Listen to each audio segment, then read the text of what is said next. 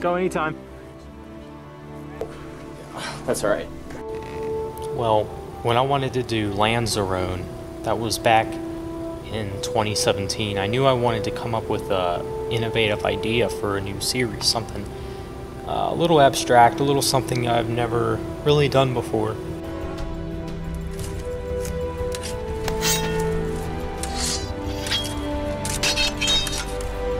And I think it was too good of a series to not have anything to do with ever again.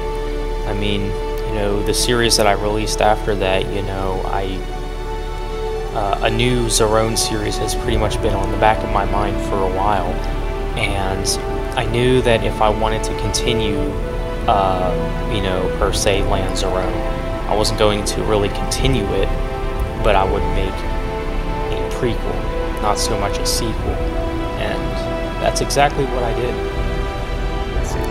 Yes.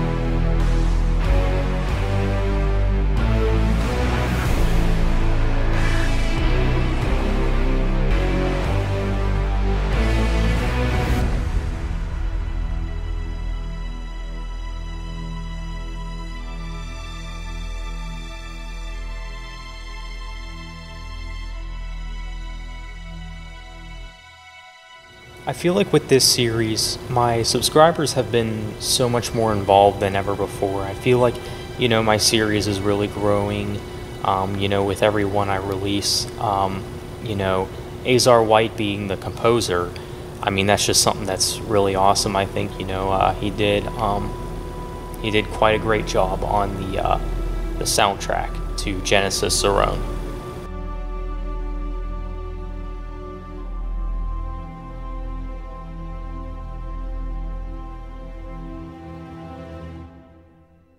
When it does come to actors nowadays, um, it is hard, you know, to find uh, people who are interested in doing this kind of thing.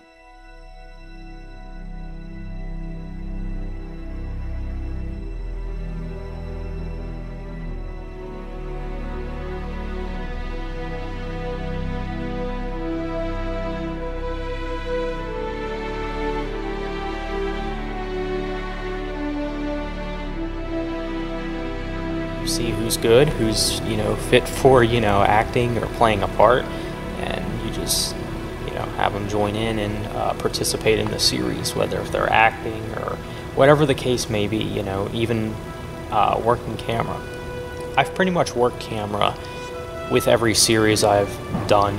Um, I've edited every series, including Genesis. Um, and uh, I think um, as far as editing wise, uh, Genesis Zerone is one of my best series.